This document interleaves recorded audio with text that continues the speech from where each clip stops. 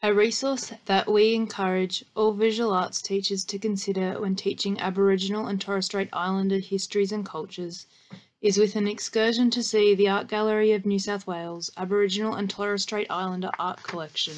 According to the pedagogical model for teaching Aboriginal students, eight ways of learning, environment responsive lessons and visual stimuli are considered Indigenous cultural competencies.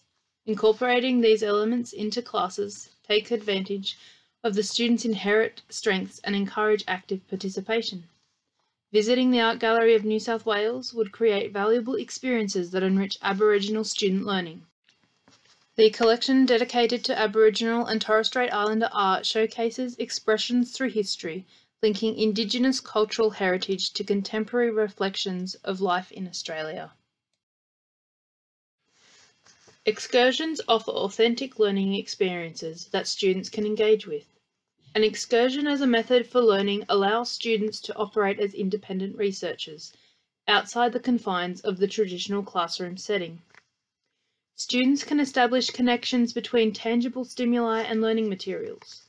Paintings, weavings, sculptures and videography in the collection provide comprehensive insight into the Australian cultural landscape from an Indigenous perspective. This is reinforced with guided tours by the gallery's Indigenous educators.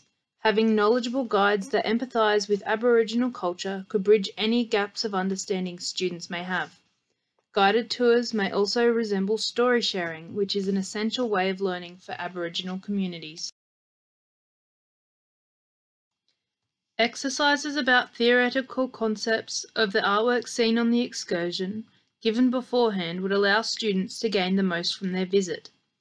For example, students should be prompted to note observations in the context of the conceptual framework and frames detailed in the visual arts syllabus.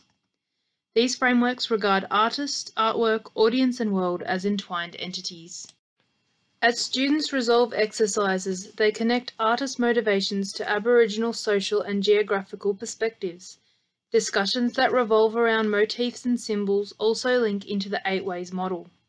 This follows Vygotsky's zone of proximal development, where students are incrementally provided challenges along the appropriate support to facilitate learning at their own pace.